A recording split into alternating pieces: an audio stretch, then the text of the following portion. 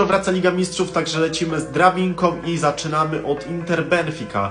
Wydaje mi się, że Benfica w tej formie pokona Inter. Napoli Milan ostatnio 4-0 się to skończyło bodajże dla Milanu, także może być ciężko, ale i tak liczę, że Napoli wygra. Eee, tutaj raczej bez szans Chelsea, no chyba, że jakimś cudem się prześlizgną z tym Realem, ale kibicuję im i tak. Eee, City Bayern. Wydaje mi się, że City. Eee, tutaj raczej Napoli.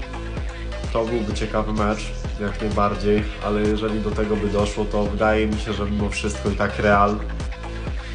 I w finale Napoli-Real Madryt. Całym serduszkiem byłbym za Napoli, ale a, dajmy Napoli.